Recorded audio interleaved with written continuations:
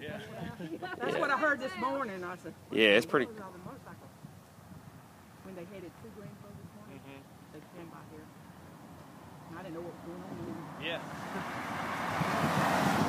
somebody posted something on Facebook. I like, saw it. I was like, they, didn't come early, did they? Then find out they got held up in the airport. Yeah.